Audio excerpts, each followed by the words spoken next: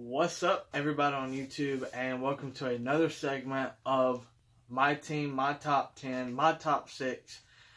Anything that involves something, involves a gameplay with Pokemon uh, Y, Omega Ruby, Alpha Sapphire, um, even uh, Sun and Moon. So, this is a little segment I kind of got started a couple weeks ago, and it's somewhat taken off, uh, somewhat hasn't. I was just so new to the channel a lot of people haven't just kind of gotten into it yet, and I don't really blame them. This is something normally we didn't do on the channel before. I normally did just pack openings, but don't worry because at the end of this video, you have a surprise. So, this one is going to be my playthrough on Omega Ruby. Now, this team is the one I went all the way through with. I ended up selecting them. I actually had to do a couple trades to get some to evolve and these are the ones I beat the Elite Four with. And I mean, this team has been amazing. This team dominated the Elite Four, except for the champion, and he was the hardest one because he ended up pulling his Mega Metagross, and that just about wiped my whole team out, except for my Blaziken. Blaziken was my number one team member. I I I've kind of really got stuck to Omega Ruby since Pokemon Ruby, the first gener first games on Generation 3 came out. It stuck to me deeply. It was the funnest game I ever played. It was my first ever real playthrough on a Pokemon game from start to finish, and I picked Treecko, not Treecko, but Torchic for my first one. Um, I got Treecko on the brain right now because I'm actually trying to trade somebody for a Treecko. So if you want to trade, let me know your friend code and we can trade. But anyway, so Blaziken was my number one team member. Now his uh, moves were Brave Bird, Blaze Kick, Fire Blitz, and Sky Uppercut. Now I did get a Mega Stone for him, so I did use a Mega Stone when I had to go face Mega Metagross, and that was I only used one full restore, and I actually used it at the same time that the champion used his. So, for my number two is Azurill.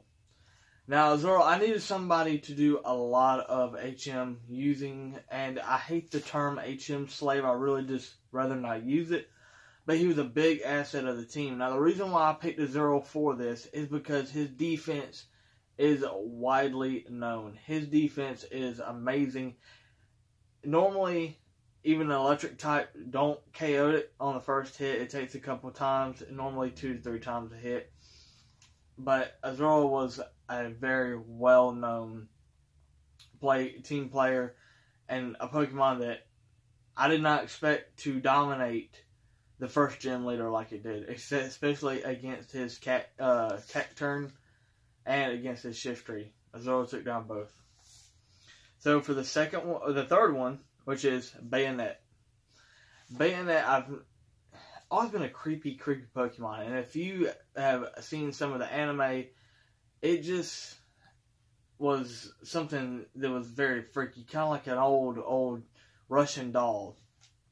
I did have the Mega Stone for Banette, and you think it couldn't get any creepier? Go ahead and use the stone. It gets worse.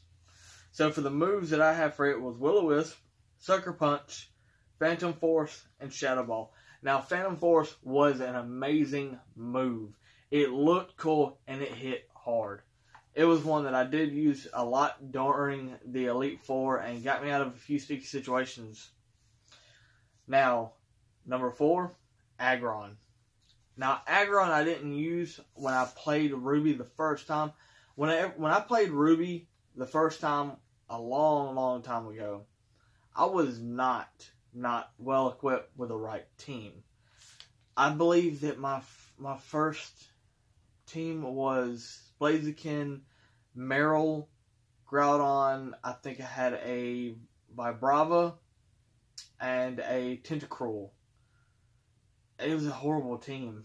The only one that barely made it out of there was Groudon and Blaziken. And when it came down to the, I think the fourth Elite Four member, I just about didn't make it. So, Aggron did come with a Mega Stone, and I did have Heavy Slam, Thunder, Iron Tail, and Earthquake. Heavy Slam, I really do like it because the whole point of it is the more that Aggron weighs more the opponent, more than the opponent, the harder the hit does damage. Amazing move. Normally, nine times out of ten, I KO any Pokemon, even if it is a higher level than Aggron, which is a great move to have, and essential, I believe. The number fifth one is Alakazam.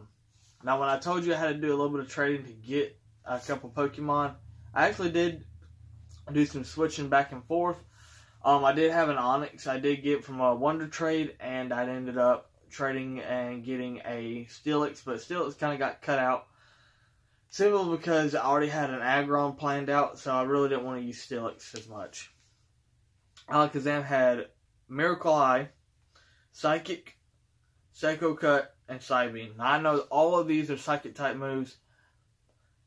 I don't know what pursued me to keep all Psychic type moves on him, but it it just it just ended up playing out that way. Now he did have a Mega Stone. Now for my final one is Groudon. When I caught Groudon the first when I tried to catch Groudon the first time, I KO'd that thing quickly. Um, I believe I used a Mega Stone on Blaziken on the first round, and used Sky Uppercut, which knocked it clean out. And I was very upset. I had to go ahead and do a soft restart and try it again. But I did not, was not able to use Primal Groudon, and I didn't figure out how to use it until after the Elite Four. I wish I would have had Primal Groudon. It would have been a lot easier, a whole lot easier. But Groudon did get knocked out by the Metagross on the Elite Four champion, and I was very disappointed. But other than that, but his moves were Lava Plume, Solar Beam, Earthquake, and the precipitous blades. I, that's a hard word to say. So, uh, I didn't get to tell you guys uh, the uh, levels for them. Blaziken was level 70, Azurill 71, Banette 69, Aggron 69, Alakazam 73, and Groudon 69. Now again, just like I did on Pokemon Y, I did grind a lot. I did go back to some of the trainers you could rebattle and just kept on and kept on for hours on end because I didn't want to be in the situation to where I got to the the champion, ended up losing because my team wasn't strong enough, and thank God that I did sit there and grind as much as I did because the champion knocked out every single one of my team members except for Blaziken and that was already close enough. I believe I had maybe 10% HP by the time I knocked out his Metagross, and the only reason why I did because I had a speed boost after using uh, Blaze Kick once, no, Fire Blitz once on him, so that was very fortunate. Now, for the legendaries, I did catch, and that's one thing I am doing. I am trying to catch as many legendaries as I can. So here's a list I've already started. So you know I caught Groudon you get Latios to use the Eon Flute. I caught Heatran by mistake. I stumbled upon the cave over there by uh, between Solace and Fortree uh, City, and it was a little bitty island right in the middle, and I was actually looking for Registeel. And I couldn't find the cave that they were talking about. Apparently, the cave is all the way on the west side of the forest, not on the east side. So I was on the east side, and I stumbled across this one was a little bit aggravating. He didn't want to stay in the Pokeball. I mean, it was. I had his HP down to ten percent, and I actually had him um, asleep a couple of times using Relicanth and using Yawn. But this one was very challenging. Uh, I did catch Deoxys in the little story mode with when you catch Rayquaza. I did catch Rayquaza fairly easy. Um, the first time I used a uh, Ultra Ball, I knocked his HP down to maybe down to 25%. Threw it the first time and caught it on the first grow. I was very, very lucky. I believe it's a lot easier to catch Pokemon now than it used to be on the regular Ruby, Sapphire, and Emerald version. I don't know why, but it just is. A lot of them just stay in there. Um, the next one was Regigigas. I went ahead and caught Registeel, Regirock, and Regice, and did not know that you got to nickname your Regice, either get a snowball or never melt ice. And then you have to go back to the to the cave that you caught Regice. And then you go up to there and you will hear Regigigas scream and he will appear. So Regigigas wasn't too much of a challenge. I think that most of the trio was I believe Regice was the hardest one to catch. But um the nickname I did give Reggie because it's one thing you've got to do. You got to nickname Regice to catch Registeel, and I think I named him Icy Hot because it was really pissing me off while trying to catch this thing, and it was just icy, you know, ice type Pokemon. So, um, again, I did read off my book everything that I wrote down. So this is just so I can keep up with everything, and you know, that way I can talk to you guys and kind of give you a heads up on what what's going on with my playthroughs. Now, um, I did want to go ahead and give you all a certain surprise. Remember, guys, I do have a bunch of codes, a whole bunch of codes for Omega Ruby. I mean, yeah, not Omega Ruby. Um, Alpha, not Alpha Sapphire. I am so stuck on this game right now, it's ridiculous. But if you're playing Sun and Moon, Ultra Sun and Moon, trust me, guys, these codes right here, I have a bunch of them. Just hit that like button, go down there to the comments below, Tell me that you need a code and I will get you a code as soon as possible. Now, if I'm at work, I will have to wait a couple hours later until I can get home to give you the codes, but I will do that. Also, I do have the other codes, the little smaller codes, where you have the mystical, the new mystical Pokemon, and also the you get shiny as well. So, and if you end up needing more than one code, let me know. It's not just one per person. If you need three, four, five codes, let me know. I will give them to you.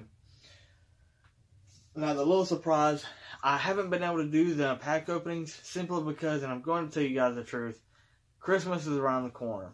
And everybody knows that Christmas is a very hard time of the year. And I don't want any sympathy and I don't want anybody to fully forgive me for what's going on. But at the same time, I kind of hope you understand. Simply because Christmas is a very, very, very stressful time. And, you know, I'm trying to, my work's slowing down. I'm trying to get as many hours as I can simply just to keep the roof over our heads. Now, I've had a couple of people reach out to me that know me on Facebook. They ended up messaging me asking if everything was okay, if there's anything they can do to help. The only thing I need from everybody is just your understand support and if you could, you know, just stay a part of the channel for me. And I promise you I won't let you down. But coming up next month, we are going to be hitting them pack openings left and right. We're going to be giving codes away every single week. I'm going to try to do it two, three times a week if finances allow. Remember, the channel is on a budget simply because the channel did lose two of the sponsors because of the end of the year. Some of the sponsors actually I had to fold and go ahead and cut ties and relationships. And I, I totally understand, no hard feelings. But because I didn't able to do a pack opening today, I did want to give y'all guys something, and I did want to give y'all guys some codes just for a don't don't run away from the present. So, guys, here's your first code.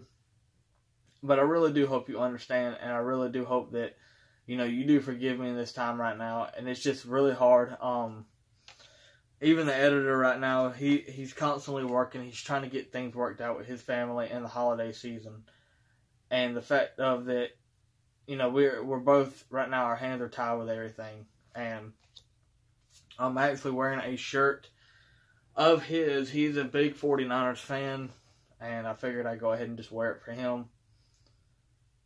Kind of appreciation thing. And uh but I believe these codes all these codes are Dragon Majesty because I did do a lot of pack openings with this. Let me see if I can get it to focus. But as you can see as well, I am growing out my beard, my hair. I don't plan on getting a haircut or shaving for a while. Simply because if you live in Georgia like I do, it is very cold. Very, very cold. So um, I'm trying to stay warm the best way I can. But uh, again, you guys, thank you so much for watching. Thank you so much for watching this video. This is something I really like to do to take off, at least do it once a week. you know, or twice a month, you know, whichever one that I don't want to flood up your feed with stuff that you don't really want to watch. So let me know down in the comments below. What do you think about this video? Hit that like button if you like this video. Hit the dislike button if you do not like this video. And let me know down in the comments below what I can do to make it better. But thank you guys for watching. Don't forget to subscribe and don't forget to check out the other channel, Collectors of Pokemon. That one right there, that will show you my biggest mistake on Omega Ruby that I've ever made with a shiny Pokemon. I'm still so pissed off at myself. I can't believe I just did that. But again, guys, thank you so much, and I hope you're having a wonderful week. I'll speak with you again soon.